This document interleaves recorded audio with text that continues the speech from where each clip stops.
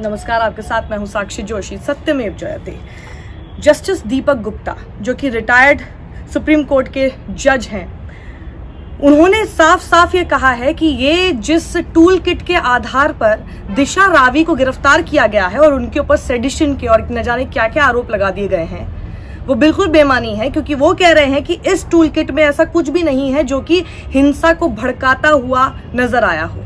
और वो ये भी स्पष्ट करते हैं कि सेडिशन को लेकर सुप्रीम कोर्ट अपने पहले ही उन्नीस सौ बासठ में इस बात को साफ़ कर चुका है कि सेडिशन तभी माना जाता है जब किसी भी हरकत से हिंसा भड़काने की गतिविधि देखने को मिलती हो, और इस टूल किट में ऐसा कुछ भी नहीं है। तो देखिए, सिर्फ़ वही नहीं, और भी सीनियर एडवोकेट्स हैं जो कि क्या कहते हैं। अब आप समझने की कोशिश कीजिए एक्सपर्ट राय, दिशा रावी के केस में अगर अभी तक कंफ्यूज है कि आखिर उस लड़की ने जो किया वो सही था, गलत था, ये है क्या? टूल किट के बारे में तो कई लोगों को समझ में भी नहीं आ रहा है। आप सोचिए, लगातार सोशल मीडिया ही नहीं, बल्कि कितने अलग अलग ग्रुप्स के तहत उसको इस्तेमाल करके लोग हिंसा भड़काने तक के काम कर रहे हैं, लेकिन अगर वो गुड बुक्स में है तो उनके खिलाफ कोई कार्रवाई नहीं हो रही। लेकिन यहाँ पर एक ऐसा टूल किट जो कि फार्मर्स प्रोटेस्ट को सपोर्ट करने के लिए था, यानी आंदोलन को सपोर्ट करते हुए था, आंदोलन के समर्थन में था तो क्या वो गलत हो गया? इसीलिए ये एक पूरी बहस छिड़ चुकी है दिशा रावी की गिरफ्तारी के बाद से। कई तरह तरह की इसमें बातचीत सामने आ रही है, लेकिन अब आप एक्सपर्ट ओपिनियन समझने की कोशिश कीजिए।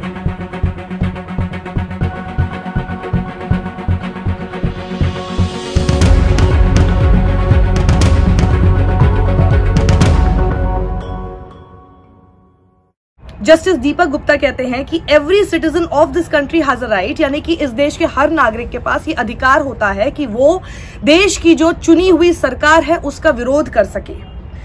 और वो जो विरोध करे, वो शांतिपूर्ण हो, ये होना चाहिए।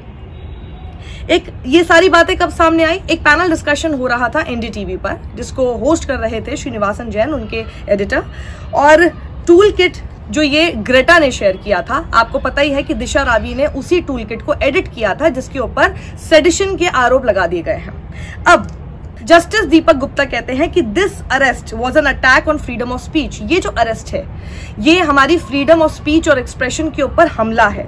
और हर नागरिक को, किसी भी सरकार को, चुनी हुई सरकार का विरोध करने का पूरा अधिकार है। वो कहते हैं कि इस टूल किट में मैं ऐसा कुछ भी नहीं देखता हूँ जिसकी वजह से ये साबित होता हो कि इसकी वजह से हिंसा हुई या फिर किसी को भड़काया गया है। वो कह रहे हैं कि मेरे मुझे कुछ समझ में नहीं आ रहा कि आखिर इस टूल किट में सेडिशियस क्या है? इस टूल किट में राजद्रोह करने जैसी ऐसी चीज़ है क्या? वो कह रहे हैं कि ये हो सकता है कि आप जो आंदोलनकारी हैं, जो कि फार्मर्स प्रोटेस्ट कर रहे हैं, जो कि किसान अपना आंदोलन कर रहे हैं, उनका समर्थन करें या ना करें, ये हो सकता है कि आपके विचार उनके साथ सहमत करने वाले या असहमत होने वाले हों, लेकिन ये पूरा डिफरेंट मैटर है, ये एकदम ही अलग मुद्दा है।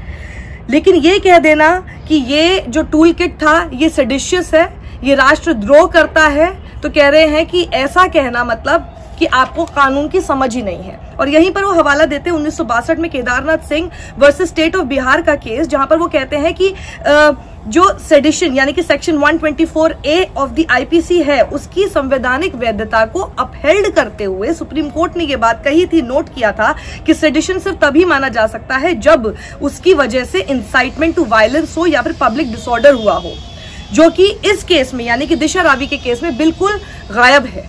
है ही नहीं, ऐसा कुछ भी मामला। वो साथ ही ये भी स्पष्ट करता है कि आखिर ये बताइए कि सेडिशन लॉ बनाया किसने था? एकदम imperialist colonialist ruler British empire ने बनाया था जो कि पूरे भारत के ऊपर राज करना चाहते थे। वो कहते हैं कि उस समय भी इस कानून के बारे में ये माना जाता था कि ये बड़ा अपराध है, ये पनिशेबल है विद लाइफ इम्प्रिजमेंट यानी कि उम्र कैद की सजा होती थी। पर वो ये भी कहते हैं, जस्टिस दीपक गुप्ता ये कहते हैं कि मुझे ये लगता था कि जो बाल गंगाधर तिलक और महात्मा गांधी के साथ हुआ कि उनके ऊपर सेडिशन का आरोप लगा के उनको लंबे समय तक जेल के अंदर बंद कर दिया जाता था, मुझे उम्मीद थी कि समय के साथ, इतने एक्सपीरियंसेस के साथ यहाँ पर ये कम से कम खत्म हो जाता। और अगर खत्म नहीं होता तो कम से कम टोन डाउन तो हो जाता। कम से कम इसके क्लॉज तो थोड़े से हल्के हो जाते, इतने ज़्यादा ग्रेव नहीं होते।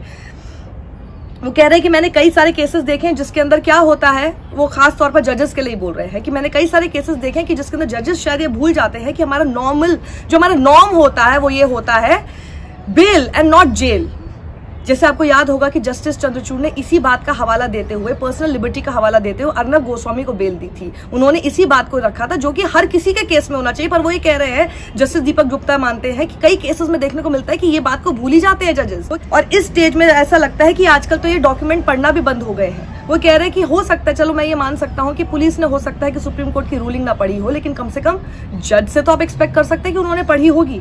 वहीं सिद्धार्थ लूथरा, ये भी एक सीनियर लॉयर है, वो ये कहते हैं कि रावी को बैंगलोर से पहले दिल्ली लाना विदाउट बींग प्रोड्यूस उसको प्रोड्यूस भी नहीं किया गया किसी मैजिस्ट्रेट के सामने बेंगलुरु में ही।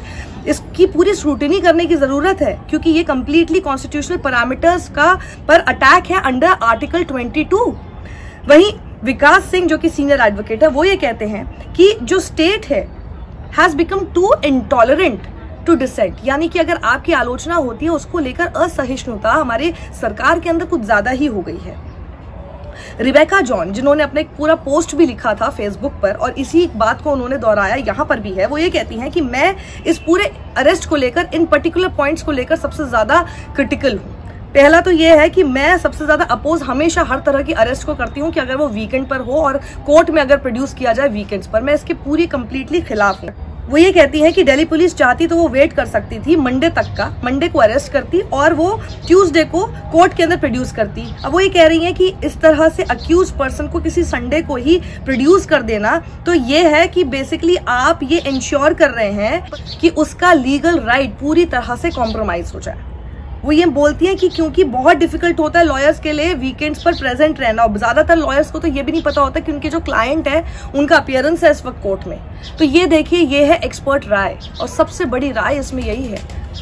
बहुत सारी चीज़ें, बहुत सारी जो आपने सीनियर लॉयर्स की बात सुनी, वो बात बिल्कुल सही है, जो कि अब हर घर में शायद डिबेट हो रही है।